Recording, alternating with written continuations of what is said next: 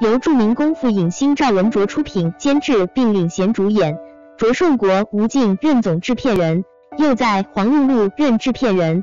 青年导演林征昭执导，香港演员唐文龙特邀出演，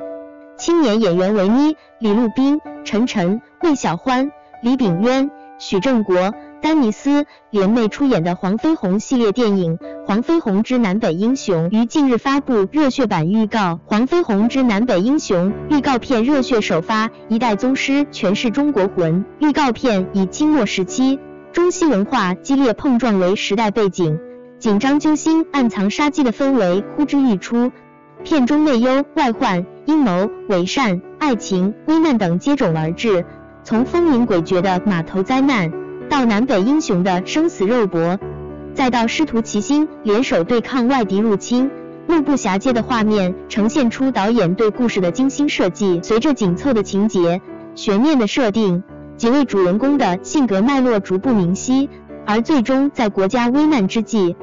黄飞鸿、吴镇南是否会放下南北之争，共同抵御外敌，长民族志气？扬华夏神威，更多精彩内容即待后续发布。时隔二十六年重塑经典，陶梦联手赵文卓打造原汁原味黄飞鸿。从著名功夫影星赵文卓出演首部黄飞鸿系列电影《黄飞鸿之王者之风》，至今已有二十六年。作为影片的监制、出品人兼主演，赵文卓一直以硬汉、正气等形象活跃于荧屏。他是侠客，更是无数人心中的盖世英雄。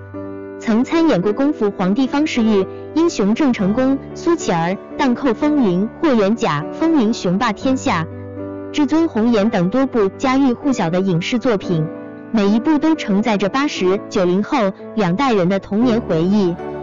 如今他与黄飞鸿世纪重逢，并联手陶梦再度演绎经典，传承宗师精神，重塑原汁原味的黄飞鸿。此次的黄飞鸿之南北英雄是否能重拾起他们儿时的英雄梦？敬请期待。